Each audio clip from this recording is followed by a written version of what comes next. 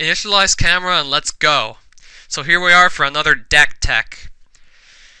Recently I've put to together another commander deck with a bunch of the old cards you've seen last time, though I changed up my strategy. Since the downfall of Zur and French Commander, in Duel Commander, since Zur's downfall, I went and changed my deck. I used the same colors, so I picked the other general of choice. You may not like him because he's probably going to be really popular since he really is that good. Oloro, Ageless Ascetic. This is the guy that, when he's in your command zone even, during each upkeep, each of your upkeeps, you gain 2 life. Of course, this is going to be a life gain based deck, and just, yeah. And while he's on the field, you can pay 1 mana whenever you gain life to draw an extra card. So yeah, card advantage and life gain. Now let's look at the other 99. Orzhov Guildgate, self-explanatory, comes in tapped, adds two colors instead of just one, not at the same time though. Recently got my hands on a Tendo Ice Bridge. Does not come into play tapped, one time use for one man of any color, other times it's just colorless. Evolving Wilds, basic enough. Get a basic land, comes in tapped, whatever color you're missing, there it is. Hero of Bladehold is still in the deck, because this unchecked can really make a huge impact on the game. The fact that it can make two soldiers, in fact, they're two ones when they're attacking, because Hero of Bladehold is Battle Cry. So yeah, she can swarm the field quick if she's left unchecked. And I figured a bunch of other creatures that I wanted to put in the deck could be huge threats if they're not taken care of immediately. We want some good uncounterable removal with sudden death. It may cost more mana than your average removal spell, but if the creature's toughness is 4 or less, this kills it, no questions asked, because a split second, it cannot be responded to. Ashes to Ashes, exile 2 non-artifact creatures, does 5 damage to you. Costs 3. And there's a bunch more counter spells, besides just this spell, counter an instant, costs 1 blue. Ajani's Pridemate. Gets a plus one plus one counter when you whenever you gain life. It's a 2-2 for 2, so you got a nice base there. But you'll be gaining one counter on him pretty much all the time unless someone shuffles Oloro into your library and you're playing non-French EDH. Other than that, every turn you'll get plus one plus one, because Oloro is going to be giving you life. With other instances of life gain, Ajani's Pridemate will grow bigger quicker.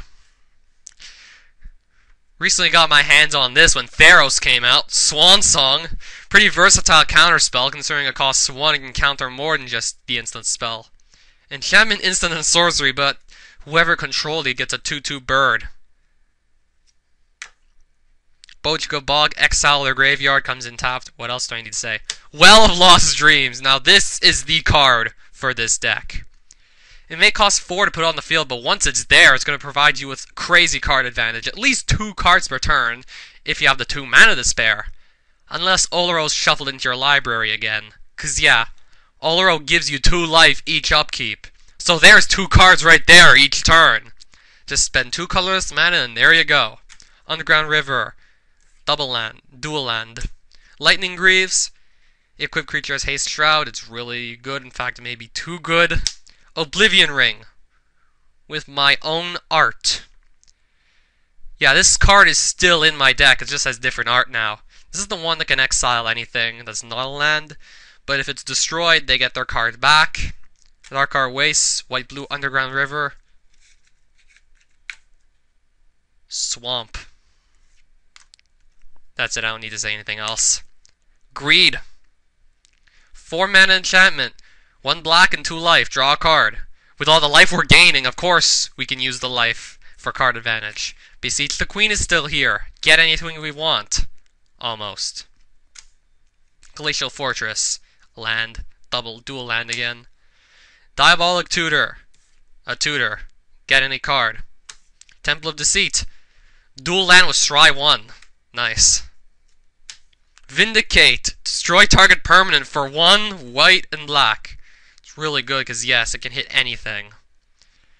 It's kind of expensive, though, because people use it in Legacy. Spell Snare. Counter target spell will convert mana cost 2, costs only 1 blue to cast. Could It could help. Dimir House Guard is only here because, well, there's a bunch of other key cards in this deck that cost 4 mana. You'll see Zur's Weirding sooner or later.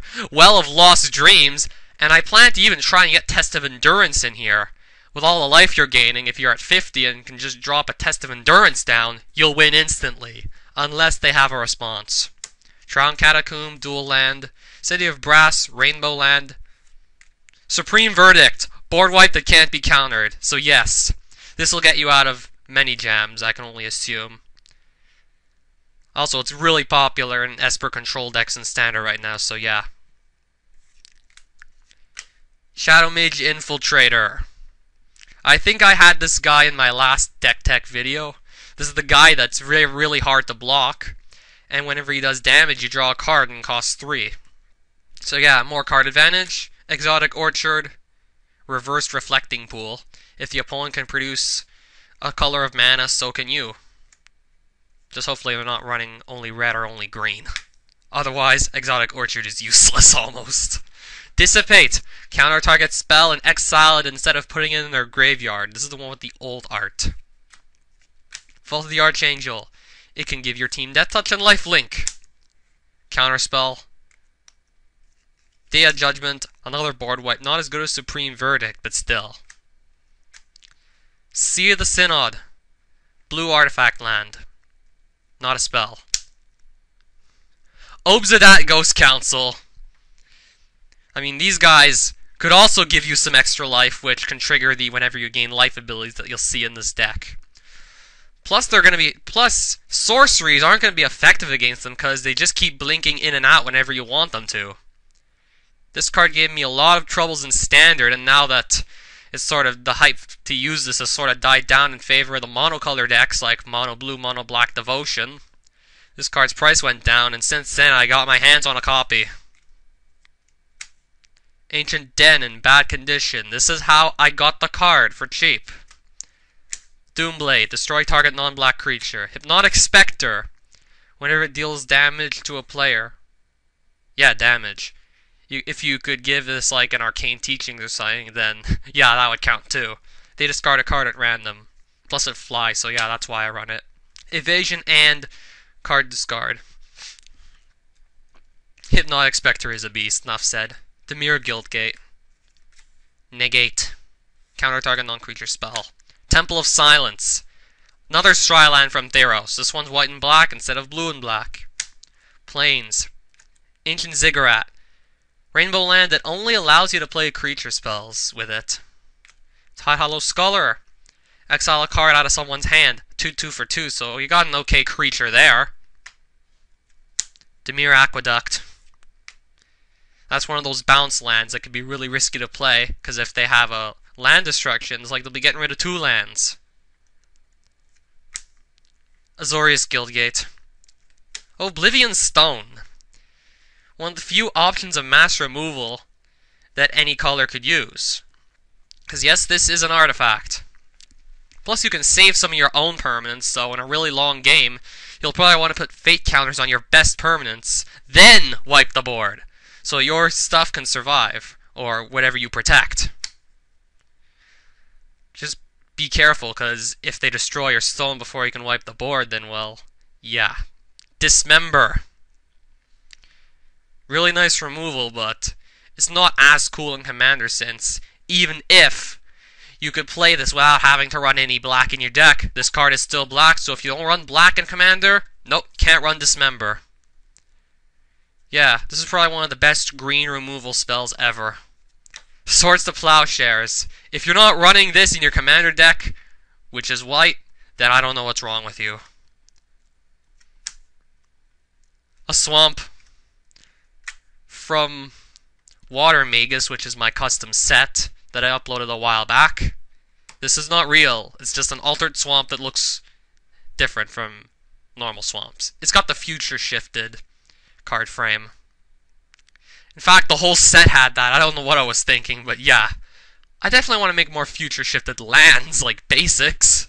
Find better art and make them even cooler. Dromar's Cavern. I still have this. Plus, I recently got Entreat the Angels. If I can cast this for the Miracle Cost, then that could end the game right there, unless they have a board wipe of some sort. And the card, Sanguine Bond, just because it's a life gain deck. Whenever you gain life, target opponent loses that much life. Well, you'll be draining them for at least two per turn, because Oloro. Plus, there's some life linkers in this deck. And when those hit, then that's pretty much extra damage. Vivid Meadow. Speaking of life linkers, here's Baneslayer Angel. She was really popular back in M10, M11 Standard, because, yeah, back in whenever she was in Standard. Even in Modern, she makes an impact. Like, two Baneslayer Angels is like almost nothing you could do unless you could remove them. If you can't remove them, you're pretty much screwed because they keep gaining your life.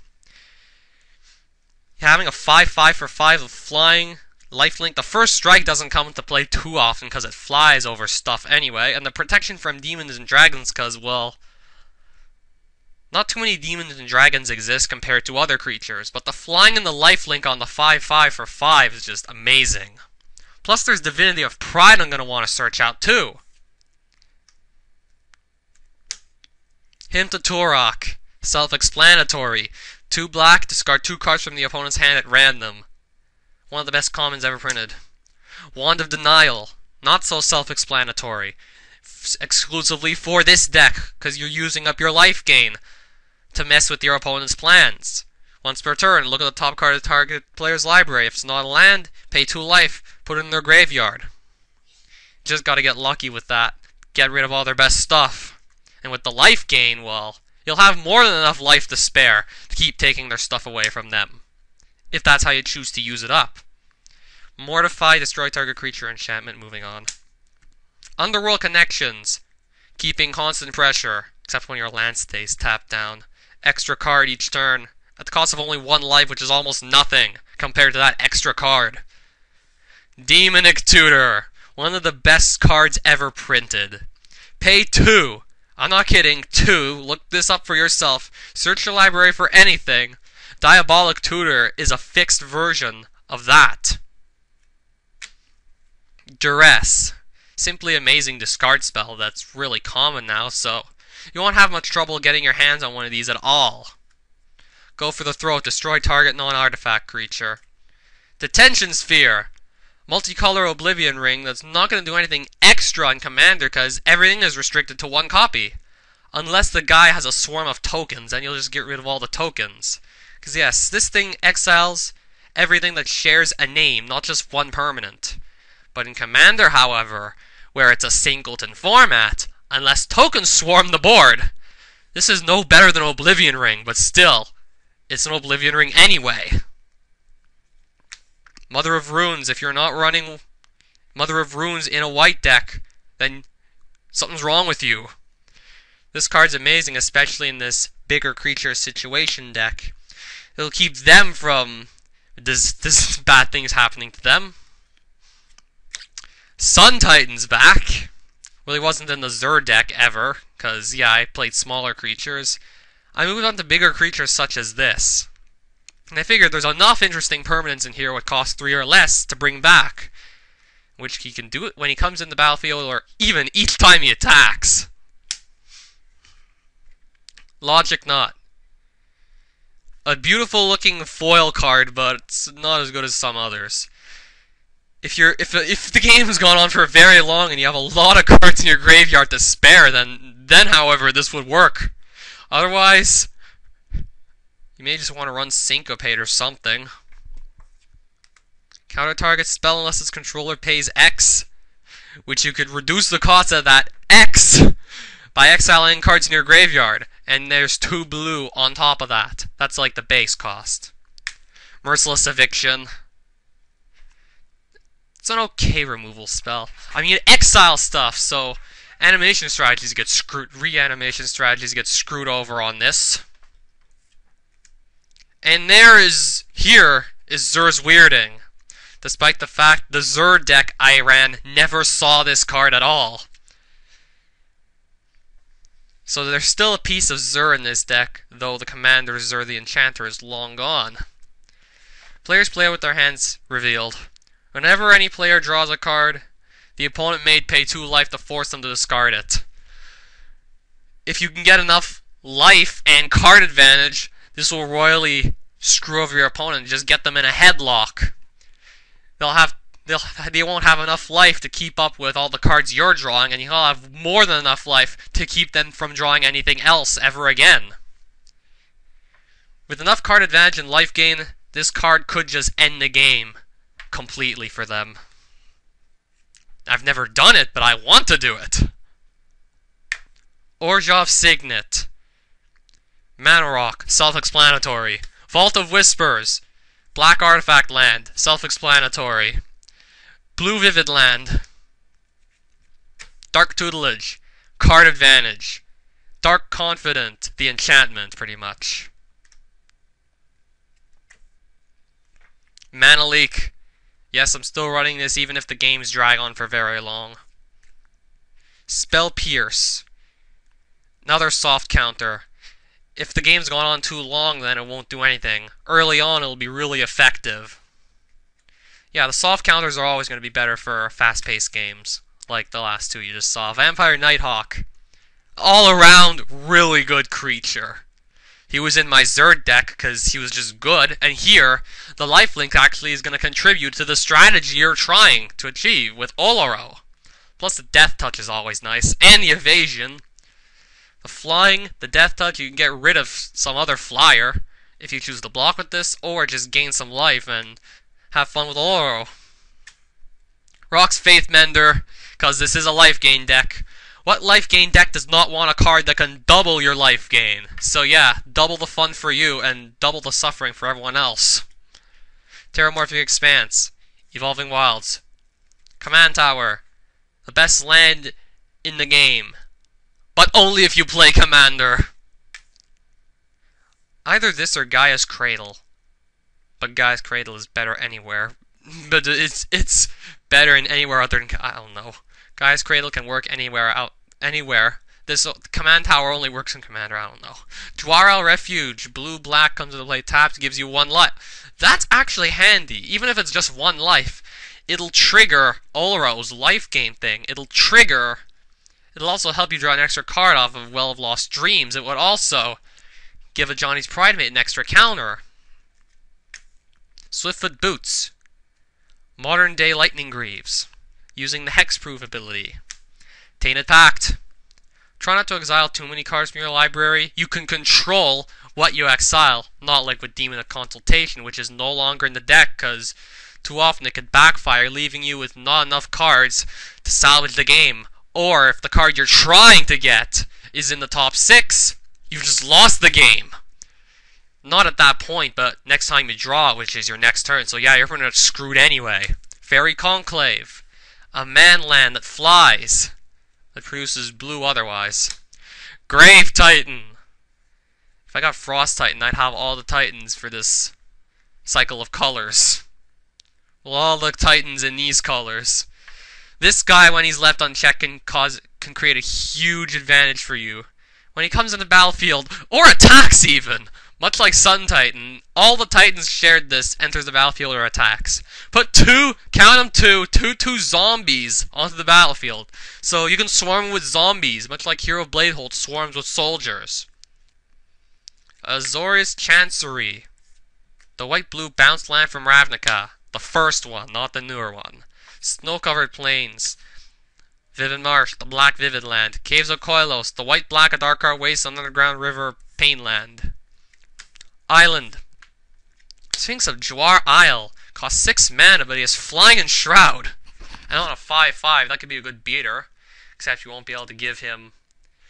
You won't be able to just give him some nice stuff with spells and abilities or whatever. But yeah, you can't have everything. Gemstone Mine. The Rainbow Land you can only use three times, but does not come into play tapped, thankfully. Tarnished Citadel costs a lot of life, but hey, with an Oloro deck, that won't be so bad anymore. Does not come into play tapped, taps for a colorless, or, if you lose 3 life or you're willing to, 1 man of any color. crawl space to screw over swarm decks. No more than two creatures can attack you each combat. So yeah, fast-paced swarm decks will just get shut out. Unless they have a way to destroy crawl space. Orzhov Basilica. A land. Unmake. Remove target creature from the game for three, or as it would be nowadays, exile that creature. Still really nice. Blind Obedience. More reasons to enjoy the life gain. Plus, it can slow down your opponent's creatures when it comes to blocking. Yeah, what don't you love about that? Akroma's Vengeance, a board wipe. Enough said. Cradle of Vitality. Now this could be really fun if you actually get to use it if you have creatures. Whenever you gain life, you may pay 2 mana. If you do, put a 1-1 counter on a target creature for each 1 life you gain, so that would be at least plus 2 plus 2 for any creature of your choice every turn with Oloro if you have the 2 mana to spare, one of which has to be white. Umezawa's Jitte or Zitte or Zitte or Jitte. How do you print the the the only real problem with having this card is the fact that you got to spend a lot of money to get it and you got to learn how to pronounce its name. Self-explanatory, this is one of the best equipments in the entire game. Its removal, it's it's life gain. It is life gain. In fact, here's the really brilliant part with Jitte in this deck. With your Oloro guy out, this thing has two charge counters. Rather than removing both the charge counters at one time to gain 4 life, it would be better to just make two instances of the life gain. Remove one charge counter to gain two first instance of life gain, and then remove the other one for your second instance of life gain. So you could get extra two extra cards with Oloro each turn you attack with Jitte if the creature does its damage. And this is also removal.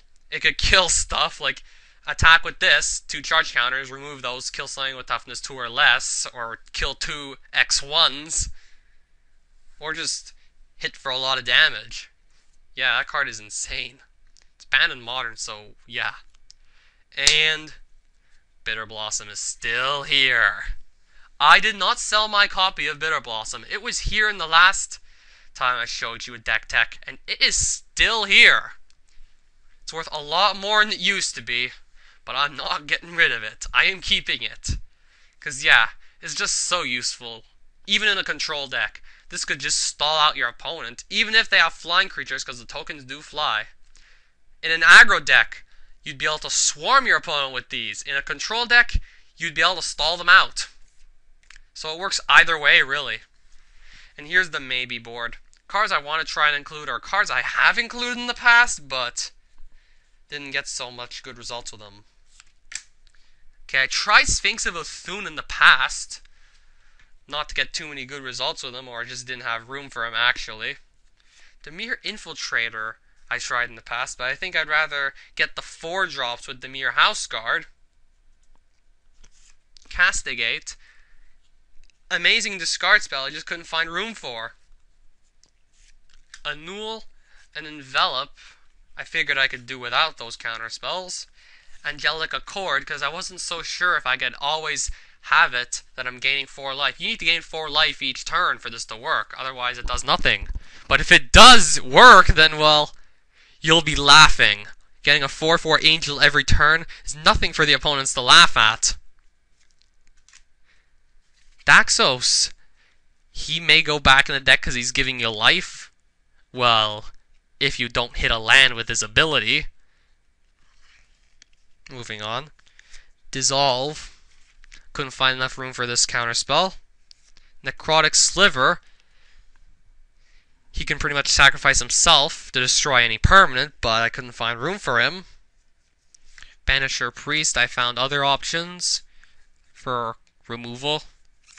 Lingering Souls, because this isn't really that swarm deck anymore. Plus, I don't think Lingering Souls is enough to protect you for long. Dimir Signet couldn't find room for it. It's another mana rock, much like Orzhov's Signet.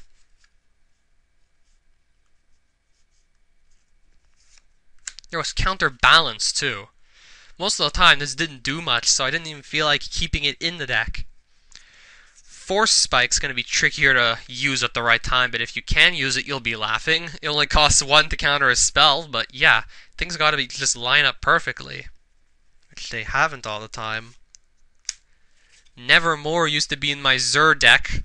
In fact, this card was really helpful in a Zur deck. It could pretty much protect Zur from any of his weaker matchups. Just fetch this. Yes, this was an enchantment that cost 3 or less. Of course, Zur could pull it out pretty much name a card, and that card, for as long as Nevermore is out, cannot be cast. Anything that gives Zur problems could just be banned with Nevermore. Hypothetically banned, but yeah. Stinkweed Imp is not in the deck anymore, but he's still a cool card, especially since I got him in foil. One of the few good things I actually got out of those Modern Masters packs was him. This I was talking about earlier that I don't run anymore because it's way too risky, and often enough it screws me over. Best tutor, but also the riskiest. Even better than Demonic Tutor. But this, unlike that, can actually backfire and screw you over. Demonic Tutor, nothing can go wrong with it. Ad nauseam. An amazing draw spell, especially for this kind of deck. You can draw as many cards as you want, and you'll be even eager to draw more since you have enough life to lose, considering you're gaining with Oloro. Except I couldn't find enough room for this, and it costs 5, so yeah. This may work. You may want to try this in your Oloro deck if you can find room for it ad nauseam.